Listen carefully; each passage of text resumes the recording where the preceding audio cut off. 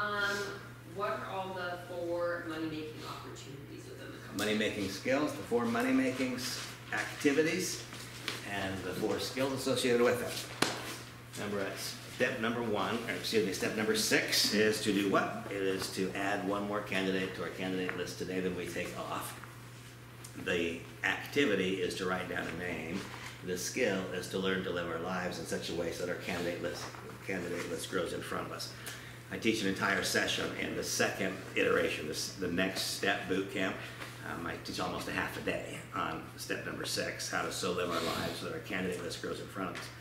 Um, if there is a common challenge among people, bless you, the common challenge among people is that their circle of influence is insufficient to populate a big group, right? don't have enough people to call. And so the idea of knowing how to live today so that our candidate list grows in front of us is a big idea. As I said, that's a, uh, it's a, day-long discussion, but I'll encapsulate it just a little bit right now. So the ways that I grow my candidate list are multiple.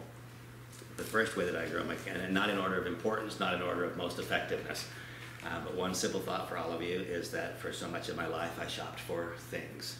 I quit shopping for things a number of years ago. I buy things, but I shop for people. And so an exact example, I happen to be wearing a pair of Converse sneakers. Uh, these are Versace sneakers. Um, I know who sells Versace sneakers. I know which shows I can buy them at, and I can buy them at Neiman Marcus. I can buy them at Versace.com. I can buy them at these various places. And so I could make the exact wrong decision, the decision that almost everybody makes. If I want this particular pair of shoes, then I can just get online and buy them, and I can buy them without seeing anybody. I can be completely anonymous. Don't have to see a darn person. Get online, push click, and somebody will drop it on my doorstep. And that'd be bad. That'd be the absolute worst way I can imagine to spend money. Um, instead of that, what I do is, and this these shoes are an exact example. Most of what I wear would be an example.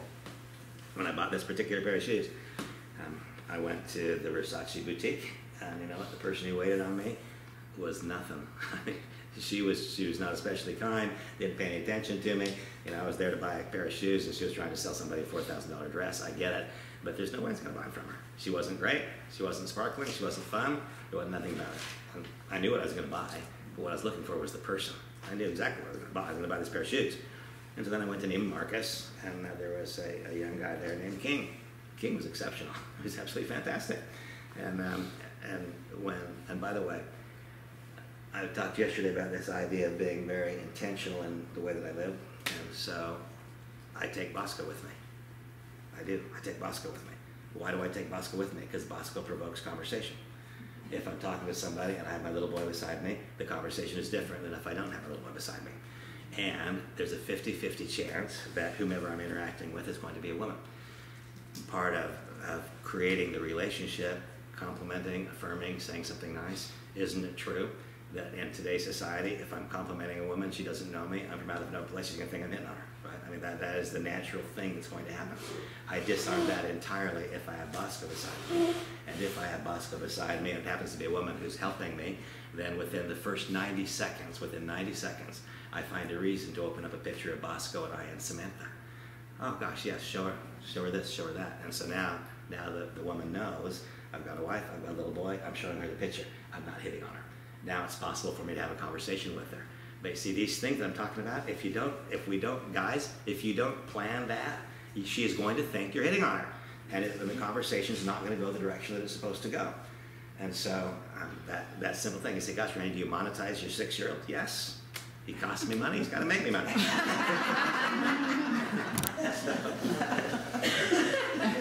so, um, in that particular case, we look at Neiman Marcus and, and King, great. I mean, just sharp, articulate, good looking, stylish. Happened to be an African American kid, probably 28, 29 years old. Sharp.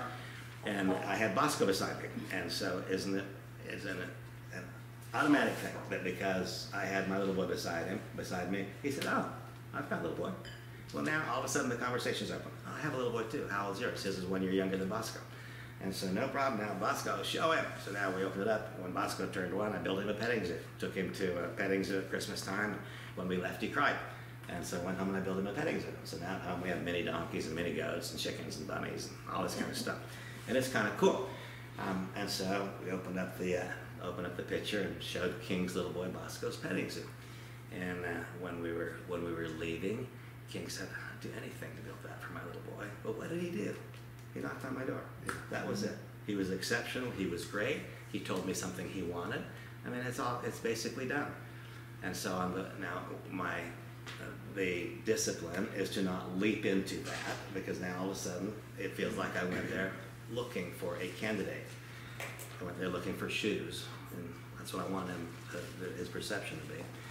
And so on, on the way out, I simply, then I paid him, I said, you know what, King, you're exceptional. Thank you. You're really good. You're underemployed. And then by saying that, King, thank you. You're really good. You're underemployed.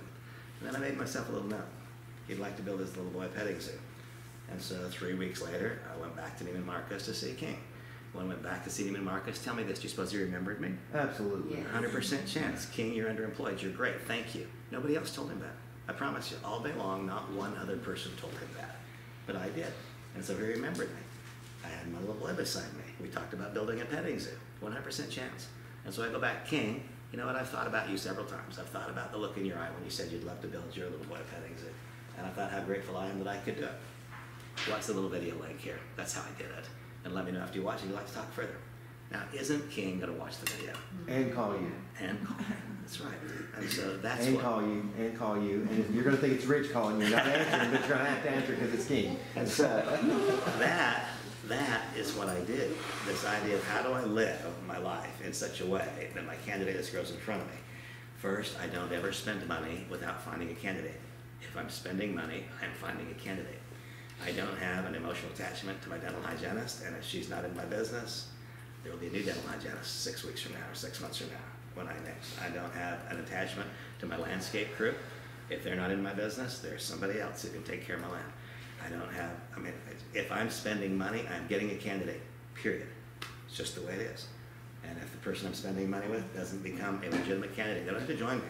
But if they don't open their eyes, their ears, their hearts to possibility, if they don't agree to come to a presentation to consider it, they will not be the place where I spend my money next time. That's just simple deal. So why should you spend money with someone who doesn't spend money with you? Why should you spend money and not create a candidate? If I'm spending money, I am getting a candidate. My property management firm is not involved in my business, if I would look at it, there's somebody else who can take care of those rentals for me. Uh, the person, my farrier, the guy that puts horseshoes on my horses. If that person's not a TCM, there are plenty of other T, plenty of other farriers. I mean, so just straight down the line. If I'm spending money, I'm getting candidates. Then um, I'm very, very intentional. Uh, so over the course of my day, I always spend money, right? There aren't any days that don't spend money. And so that means every day is a day that should result in a candidate. I'm spending money. So there's going to be a candidate that comes out of this somewhere. Then I don't just do it um, in terms of pair of sneakers. Um, about a year ago, I bought a new um, Porsche 911 GTS. Beautiful car. I could have done the exact wrong thing. In today's internet world, you don't have to even go into a store. You can build a Porsche online, and you can have it. They'll deliver it to your doorstep, right? So I could do the exact wrong thing. I could do the next wrong thing. I could go into the store, and I could treat the salesperson like a salesperson instead of like my friend or like my, my peer. Um, I could be rude. I could be obnoxious. I could say I want to talk to the sales manager. I could do all kinds of things. But instead of that, I went to Porsche Irvine and didn't find the guy that I was looking for. And I went to Porsche Beverly Hills and I didn't find the guy I was looking for. I went to Porsche San Diego and there I met Helmut. And Helmut was the guy I was looking for. He didn't know that he was the guy, but he was the guy I was looking for. Helmut will one day be in our business. He's not yet. Um, but he did a fantastic job. He did a fantastic job, I told him, I said, Helmut, I want you to know that I went to three different Porsche dealerships. They all had the same vehicle available, but I'm buying it from you because you're great. Thank you. Will Helmut remember me? Helmut remember me. Four weeks later, I go back for the first service. When I go back for the first service, I take the car and I pop in to see Helmut. Helmut absolutely loved the car. Thanks again for the service. By the way, you should be driving these instead of selling them. really, that's exactly what I said. Now he's my friend. We've already talked. You should be driving these instead of selling them. Watch this video and let's talk. And so all day, every day, whether I'm just out doing my normal thing, whatever it is, I'm finding candidates as I'm spending money. And then, if there is a specific purchase that I want to make, then I literally go shop for the person. I mean, if I'm just wandering through the day, I'm buying what I'm buying. But if I'm going out specifically to acquire, then I'm shopping for the person. And when I find the person, that's when I'll acquire the item that I want to acquire. Never once are you saying, "Oh my gosh, I found this thing." Never once are you saying, uh, you've got to take a look at that." Oh my goodness, this is you're so perfect for this. Never, no, that conversation doesn't ever, ever come up. It's not, a- it's not a part of the dialogue at all. Because it's not a useful dialogue. Exactly. That's You know, why. Randy, what I'm having happen is that when I meet people, it's, you know, what do you do? And I have like several businesses, Mhm. and I say that, I have several businesses, but one of the most, like, uh, one of the most exciting is that I've been able to join, you know, a, start a little baking business as well. You know, it's blessing a lot of people. So is that a wrong thing to say at that moment? Does it work? Sometimes. they are very interested. Yeah, no. They are so okay. I met. Um, I helped a, a, a client, and the guy wrote the software for Bank of America. Mhm. Uh, immediately, he and I went to dinner. This was about ten days ago now, and his name was Fred. We spent two. hou- I mean, he picked apart Transact Card. Right. He knew about the transaction fees, about twenty-five hundred, it was about thirty-seven dollars, Mhm. and the transaction fees. He said, how can you guys pay? I said, well, you know, it's a dollar to me, a dollar, you know, so he started seeing the numbers worked. Right, And then he picked apart the travel, right. and he finally said, this is gonna be huge. Cool. It's exactly what he said um, from that conversation. But it doesn't always go that way. And I'm wondering, you know, you're saying come back, but every single day I have people ask me, "What do you do?" And I'm and so now I'm wondering if I shouldn't. if I should just like, oh, heck, I don't know what to do now. Well, What, what do you say when they ask you what you do? what I, do? People probably don't do that much anymore. Uh, people don't, I, I don't hear that question very frequently, but if somebody, if you were to ask me, what do I do? I, you've heard me say it a thousand times. What do I do? I look for people of goodwill and intent who want more and are willing to do more. And I've got a few mechanisms to make that happen. That's what I say. And, but what Rich said a few minutes ago, the, the typical words that come out of people's mouths to cause someone to look at a network marketing company, they're not the words that I use. They're like dramatically different. It's always rushing towards people about what I am excited about, what I am excited about, what I'm excited about. They don't care. Me, what am I supposed to say again? We need to know what they're excited about. They don't care what we're excited about. And that's the basic flaw that people make over and over and over again. That requires us to listen and be invested in people. That's exactly right. They say it's, that, that requires that we listen first, we talk later. But if we're rushing towards people with what we're excited about, I promise you, it just doesn't make any difference. Mm-hmm. Exactly none. And so that pause, you know, slowing down to speeding up what I do, people think is slow. It is not slow. I recruit It's more flow. people than anybody else. It's flow. Yes. Flow. Right. It's And that, and that, natural and that takes me of back to our life. conversation yesterday because I love, and I, I feel, how about this? Doing what you do and having conversations with people like that, I feel like I can absolutely do that. And I, and I know I can do it.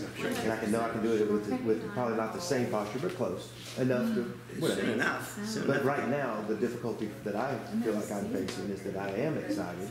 I know that I've got something that other people want. I've got thousands of people in my contact list that I know I want to reach out to today. Mm-hmm. And the question in my mind is how do I how do I take what we just learned and what we just spoke about and what this is all about and implement that to my list of, of, of those people. With with the same posture that's going to have them be